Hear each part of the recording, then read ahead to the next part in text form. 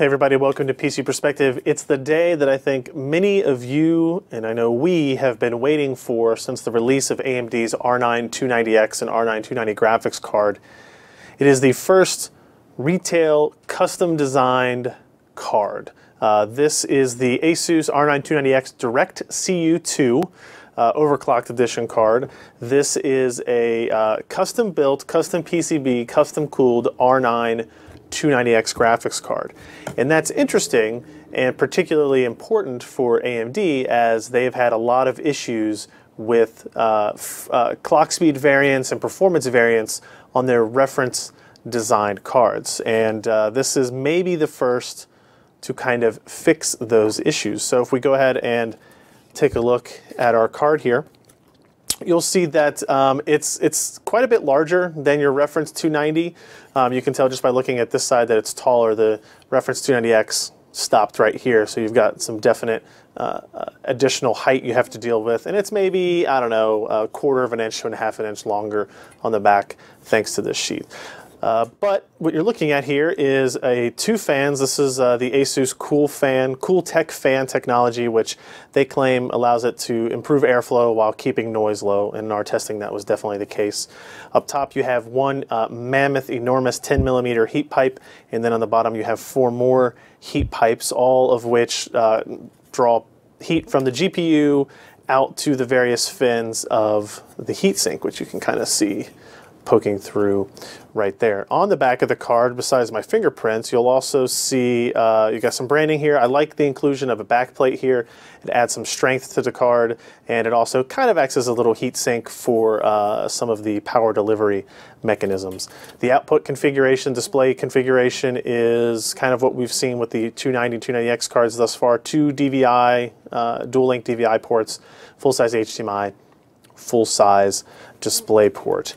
Um, as far as power connections go, so we can show you this here, uh, you've got an 8 pin and a 6 pin still. So even though this is an overclocked custom design, it's still an 8 pin and a 6 pin, although they are rotated 90 degrees, so you're actually plugging them in backwards, which uh, is actually helpful so you don't have to worry about getting your fingers in behind this sheath to uh, remove them if you, uh, if you have to do that actually.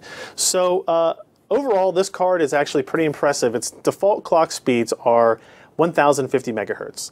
And there's nothing listed as an up to, there's nothing listed as, um, you know, maybe 1050 megahertz.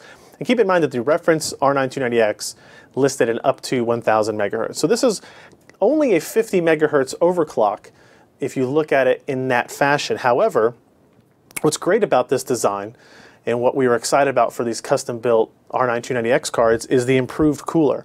So with this cooler, the DirectCU II cooler from Asus, we were able to run uh, the GPU. It has still has a switch that has two modes. It has a performance mode and it has a quiet mode.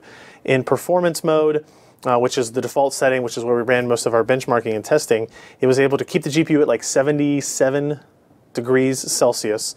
It was able to maintain 1050 megahertz clock speeds throughout an entire 25 minute run of uh, Metro Last Light.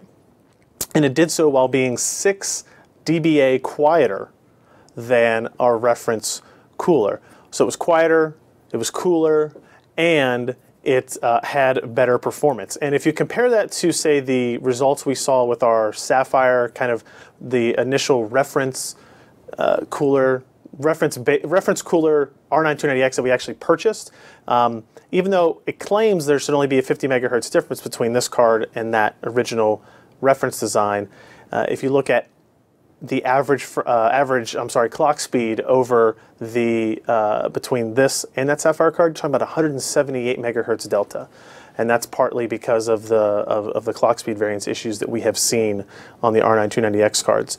This definitely addresses all of that. They have some other interesting things. You'll notice here that we have, uh, there's some red stickers on it. it. actually ships and some of the pictures in our full review uh, will show without these decals actually applied that I kind of actually like the kind of all black look. But they also have uh, some yellow ones here too, and I show you, there are some pictures in the full article. You know, the basically, if you have a, a, a, motherboard from Asus that has the red coloration versus the gold coloration, you can you can match it accordingly. The downside to this is its availability. It's only going to be expected to be $20 higher. It's supposed to be 400 or I'm sorry, $569 MSRP, which is $20 more than what the ex, the expected MSRP for the R9 290X is today. However, availability concerns are twofold. One, as we record this video, it's almost impossible to find R9 290Xs, uh, and if you do find them, they're not at their MSRP price. They're $50, $100, 200 dollars more expensive thanks to some shortages either because of extreme demand, lack of production or Bitcoin mining depending on, on who you talk to. Uh, the other complaint is that Asus told us that this card wasn't even going to be available in the market until mid-January 2014. So as we record this, it's about 30 days out from that. So even if you're really excited about this, you're kind of limited on, uh, on, on when you can expect to get it and when it's released. Will it be in short supply? Will it be hard to find? Will retailers kind of jack up the prices on that?